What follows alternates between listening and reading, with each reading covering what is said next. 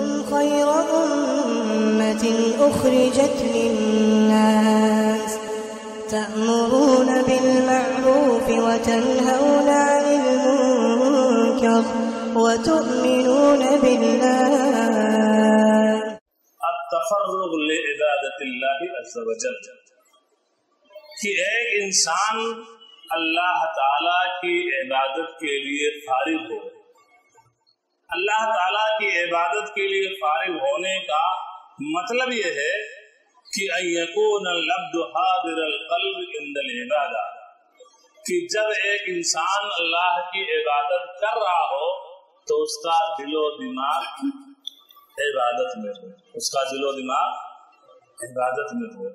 جسے حدیث جبریل میں احسان کہا گیا جسے حدیث جبریل میں کیا کہا گیا ہے؟ الاحسان جب پوچھا گیا کہ احسان کیا ہے، تو آپ صلی اللہ علیہ وسلم نے فرمایا، الاحسان ان تعبد اللہ کانک ترا، فإن لم تكن ترا فإنه يراك احسان یہ ہے کہ جب آپ اللہ کی عبادت کر رہے ہوں، تو آپ یہ سمجھیں کہ آپ اللہ کو دیکھ رہے ہیں۔ اور اگر تم اللہ کو نہیں دیکھ رہے ہو تو تمہارے دل و دماغ کے اندر یہ عقیدہ موجود ہونا چاہیے۔ یہ یہ بات تمہارے دل و دماغ میں بیٹھنی چاہیے۔ کہ وہ اللہ تعالیٰ تمہیں ضرور دیکھ رہا ہے۔ تو یہ ہے تفرغ عبادت اللہ۔ کہ جب آپ اللہ کی عبادت کر رہے ہوں، تو عبادت کے وقت آپ کا دل و دماغ نماز میں ہو۔ خصوص وضو کے ساتھ نماز پڑھنا اور اگر یہ چیز نہیں ہے کہ جسم تو ہمارا نماز میں ہے، لیکن دل و دماغ ہمارا آفس کی فائلوں میں ہے۔ دل و دماغ باس نے جو کام دیا تھا، اس میں لگا ہوا ہے۔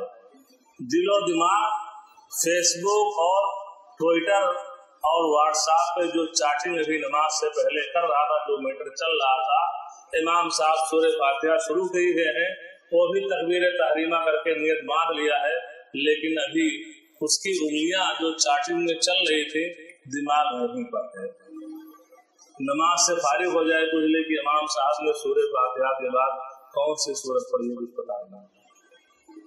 حتیٰ کے بعد لوگوں کا یہ حال کہ وہ سنت کی ادائیگی کر رہا ہو، خود نماز پڑھ رہا ہے اور نماز کے بعد اس سے پوچھیے کہ ابھی آپ نے سنت دو رکعت پڑھی، اس میں آپ نے سورہ فاتحہ کے بعد کون سی صورت پڑھی ہے تو سر نہیں خیال نہیں یاد آ رہا۔ تو اگر نماز کا یہ حال ہو پھر اس میں برتن نہیں ہوگی۔ اللہ تعالیٰ نے تفرغ عبادت اللہ جب آپ نماز پڑھ رہے ہوں، عبادت کر رہے ہوں، تو دل و دماغ عبادت میں، دل و دماغ یہ عبادت سے باہر۔ نہ ہو۔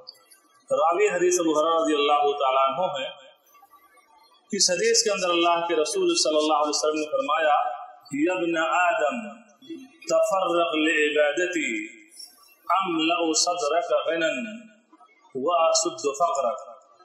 وإلا تفل وإن لم تفل، ملأت يدك شغلا ولم أسد فقرك سنن ترمذی کی حدیث جسے امام ترمذی رحمہ اللہ نے کتاب و صفت القیامہ کے اندر ذکر کیا ہے اور علامہ البانی رحمہ اللہ نے اسے سلسلہ صحیحہ کے اندر صحیح قرار دیا ہے۔ اللہ کے رسول صلی اللہ علیہ وسلم نے فرمایا کہ اللہ تعالیٰ نے فرمایا کہ اے آدم کی اولاد تفرغ لعبادتی۔ میری عبادت کے لیے تم فارغ ہو۔ جب میری عبادت کرو، میری عبادت کے لیے تم کھڑے ہو تو تمہارا دل و دماغ عبادت میں ہو، باہر نہ ہو۔ اگر یہ چیز تمہاری عبادت میں ہوگی، تو کیا ہوگا کہ املا صدروں کا غنم تیرے دل کو ہم بے نیاز کر دیں گے۔ دل بے نیاز ہو جائے گا، دل محتاج نہیں ہوگا، دل غنی ہو جائے گا۔ اور اسی لیے کہا جاتا ہے کہ مالداری یہ نہیں ہے کہ انسان کا مال زیادہ ہو جائے، لیکن مالداری یہ ہے کہ اس کا دل غنی ہو۔ دل غنی ہو۔ وہ اشد فخر اللہ تعالیٰ نے فرمایا کہ تیری فخر کو میں ختم کر دوں گا۔ دل غنی ہو جائے گا، دل تنگ نہیں ہوگا، اور ساتھ ہی ساتھ جو فقر و فاقہ ہے، جو تنگی ہے، اس کو بھی میں دور کر دوں گا۔ وہی تفل اور اگر تو نے ایسا نہیں کیا۔ یعنی تو عبادت تو کر رہا ہے، لیکن بس جسم ہے، لیکن دل دماغ کہیں اور ہے۔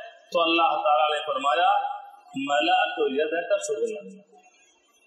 تیرے ہاتھ کو ہم کام سے بھر دیں گے۔ یعنی تیرے پاس کام بھی کام ہوگا۔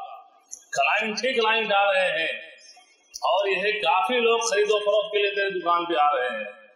ولم اسد فخر لیکن تیرا فخر و فاقہ دور نہیں ہوگا۔ کوئی کبھی تھوڑی دیر پہلے میں نے کہا نہیں تھا کہ انسان کہتا ہے کہ مال تو زیادہ کما لیتا ہوں، مال تو پرافٹ تو بہت زیادہ ہو جاتا ہے، لیکن پتہ نہیں لگتا ہے کہ پیسہ کہاں جا رہا ہے۔ تو کام تو بہت زیادہ ہے انکم تو زیادہ ہو رہا ہے، نمازوں کو بھی چھوڑ دیا اور حرام و حلال کی تمیز بھی چھوڑ دی، بس آ رہا ہے، لیکن کہاں جا رہا ہے کچھ پتہ نہیں چل رہا ہے۔ وہ مال ٹک نہیں رہا ہے، تو یہ ہے کہ التفرغ عبادت اللہ۔ انسان اللہ کی عبادت کے لیے فارغ ہو، جب اللہ کی عبادت کرے تو دل و دماغ حاضر ہو، اللہ کی عبادت میں ہو، تو اس کا فائدہ یہ ہوگا کہ اللہ تعالیٰ فقر و فاقہ کو دور کرے گا۔ جب فقر کو دور کرے گا، تو ظاہر سی بات ہے کہ رزق میں برکت کی دلیل ہے کہ اللہ تعالیٰ رزق میں برکت فرما خير أمة أخرجت للناس تأمرون بالمعروف وتنهون عن المنكر وتؤمنون بالله